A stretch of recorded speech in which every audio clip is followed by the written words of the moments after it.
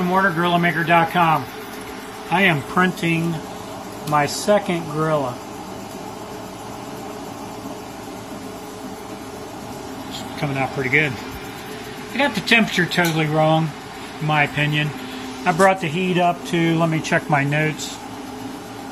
I brought the heat up to 350 C. I adjusted my bed temperature and got it to 140 C. And the inside of the chamber is around 50 C. Uh, I did that by putting doors on. As you can see, I got a little plastic right here, but this is the door. It's a quarter inch um, acrylic. I'm uh, putting those on the printer right now. But you can see that the Gorilla looks pretty good there. For PE, by the way.